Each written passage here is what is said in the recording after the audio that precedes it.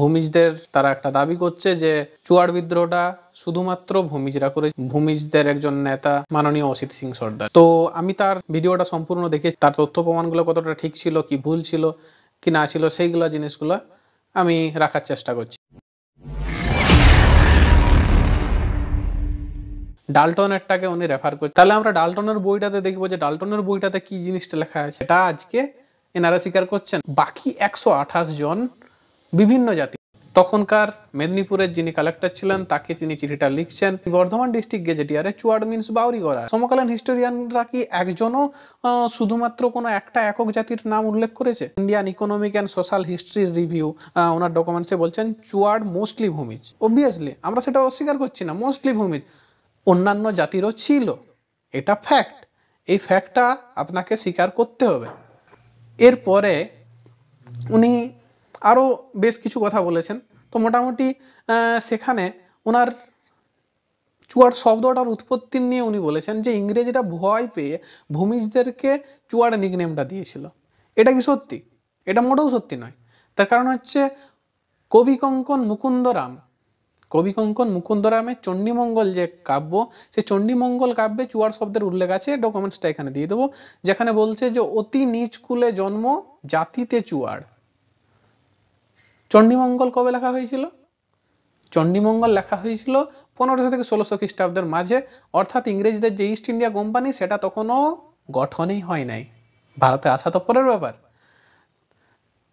তাহলে চুয়াড় শব্দটা ইংরেজদের দেওয়া, ভূমিজদেরকে নিকনেম হিসাবে, এটা সত্যি নয়। আচ্ছা এরপরে আপনি ডকুমেন্টস হিসাবে আপনি বলছেন যে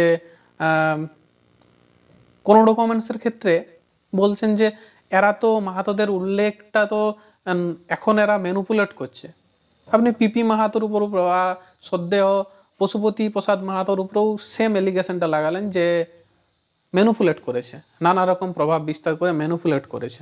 কিন্তু ম্যানুপুলেট মানে এটা টার্মটা কি আপনি একজন শ্রদ্ধেহ যিনি একজন অ্যান্থ্রোপোলজিস্ট তার উপর লাগানোর জন্য যথেষ্ট আপনার কাছে প্রমাণ আছে? এরপরে দেখি, আপনি মানে ম্যানুপুলেট করা কোনো তথ্যকে কোনো তথ্যকে ম্যানুপুলেট করাটা কাকে বলে?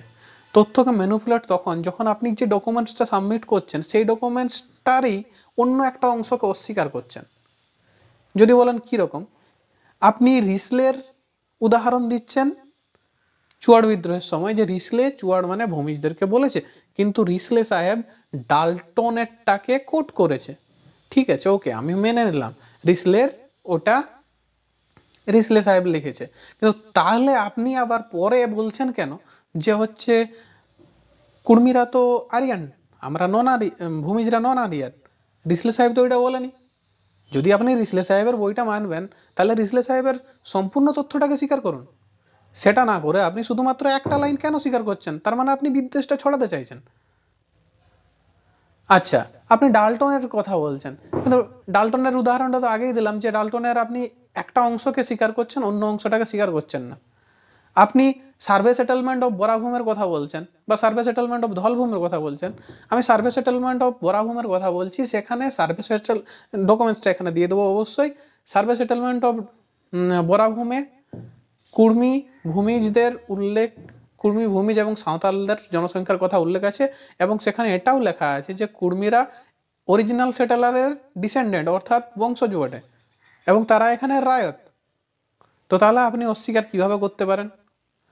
এরপরে আরেকটা ব্যাপার আপনার যেটা যে কর্মীরা তো কোনো সেই টাইমে পদে ছিল না। অবভিয়াসলি খুব কম কর্মীই কোনো পদে ছিল। অধিকাংশ ক্ষেত্রে তারা চাষি ছিল। তো আপনি বলছেন যে চাষিরা কেন বিরোধিতা করবে? তো চুয়াড় বিদ্রোহের একটা মেন কারণটাই ছিল যে তাদের উপর ট্যাক্স চাপানো হচ্ছে। তো ট্যাক্সটা কাদের উপর চাপানো হচ্ছে? ট্যাক্সটা জমিদারকে, জমিদার কার থেকে আদায় করবে? আপনারা জমিদার ছিলেন, ফৌজদার শ্রেণি ছিলেন, ঘাটোয়াল ছিলেন, ঠিক আছে, আমি স্বীকার করলাম, অধিকাংশটাই আপনারাই ছিলেন। কিন্তু তারা তো নিজের প্যাকেট থেকে দেবেনি। তারা চাষিদের কাছ থেকে ট্যাক্সটা আদায় করবে। এরপরে চাষ, যে চাষিদের ট্যাক্স দেওয়ার অভ্যাস নেই, তাদের উপর যখন ট্যাক্সটা চাপবে, তখন তারা বিক্ষুব্ধ হবে কি না? যদি তখন তারা বিক্ষুব্ধ হয়, তারা যদি ট্যাক্স দিতে অস্বীকার করে, সেক্ষেত্রে জমিদারের কি করণীয় কিছু আছে? তখন সেক্ষেত্রে সেও তো বাধ্য হবে বিদ্রোহটা করতে। এবং এই টাইপেরই একটা ঘটনা বরাভূম সার্ভে সেটেলমেন্টে উল্লেখ আছে, যেখানে স্পষ্টতই, আমি পেজটা এখানে দিয়ে দেবো, যেখানে স্পষ্টতই ঘট মানে এইভাবে বলছে যে ঘাটোয়ালরা ফেঁসে গেছে। তার কারণ, যারা ভিলেজ ঘাটোয়াল আছে, তারা প্রয়োজনীয় যে ট্যাক্সটা সেটা তরফ ঘাটোয়ালের কাছে জমা করতে পারছে না। তার কারণ কি না? তার কারণ রায়তরা ট্যাক্সটা দিচ্ছে না। রায়তরা ট্যাক্সটা দিচ্ছে না। তার কারণ সেই রায়তদের ট্যাক্স দেওয়ার অভ্যাসটাই নেই। সুতরাং এক রাজা হোক বা প্রজা, তারা একে অন্যের সঙ্গে সংযুক্ত এবং এইভাবে তারা একসঙ্গে ছিল বলেই কিন্তু লড়াইটা এত কাল ধরে টানতে পেরেছিল। আপনি যে দীর্ঘকাল ধরে টানার কথা বলছেন, অবশ্যই চুয়াড় বিদ্রোহের একটা সব থেকে বড় ব্যাপার, এটা দীর্ঘকাল ধরে চলেছে। এবং দীর্ঘকাল ধরে যখন কোনো লড়াই চলে, তখন সেইটাকে টেনে নিয়ে যাওয়ার জন্য সমস্ত মানুষের, সমস্ত শ্রেণির মানুষের সাপোর্টটা দরকার হয়। এবং এই প্রসঙ্গে আরেকটা ঘটনা উল্লেখ করে দিই, সেটা হচ্ছে ডকুমেন্টসটা এখানে দিয়ে দেবো। একটা ইংরেজ অফিসারের ডকুমেন্টস সে যখন বিদ্রোহ দমন করতে যাচ্ছে, তখন সে উল্লেখ করছে মানে পুরো কান্ট্রিটাকে মানে এনিমি অফ কান্ট্রি এই টাইপের একটা টার্ম ইউজ করছে। কারণ মানে সমস্ত কান্ট্রিম্যানগুলোকেই সে কিন্তু এনিমি হিসাবে বলছে। সে কিন্তু স্পেসিফিকলি কোনো কাস্ট কোনো একটা কাস্টকে বলেনি যে শুধুমাত্র উমুকরাই আমার এনিমি বাকিরা এনিমি নয়। তো এই যে এর পরবর্তীতে আপনি চুয়াড় বিদ্রোহ নিয়ে শুরু করলেন, ঠিক আছে চুয়াড় বিদ্রোহের ডকুমেন্টস দিলেন, আপনার ডকুমেন্টসগুলোর ব্যাপারটাও বললাম, আপনি বলেছিলেন যে চুয়াড় বিদ্রোহটা শুধুমাত্র ভূমিজদের। তো শুধুমাত্র যে ভূমিজদের নয়, সেই প্রমাণটা আমি দিয়ে দিলাম। আজকের জন্য এইটুকুই। এরপরে আবার নিয়ে আসব চুয়াড় বিদ্রোহের বিভিন্ন ধাপগুলো। নমস্কার। জোহার।